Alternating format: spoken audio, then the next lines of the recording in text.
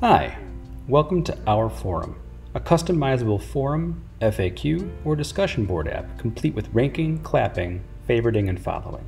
Upon signing in, you're free to browse around, but you can only post after completing your profile.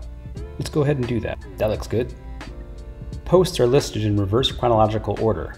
If anybody comments on the post, it'll get sent to the top. Let's go ahead and create a new post.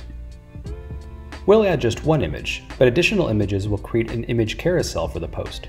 Within each post, you can see the author, favorite, view the image, cheer, or post a reply.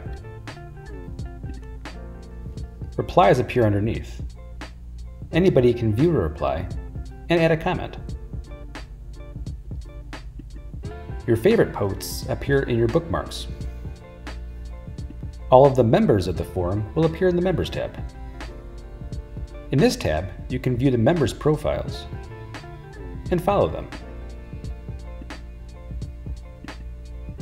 Every post or reply counts towards your contributions. The more contributions, the further up in ranks you go.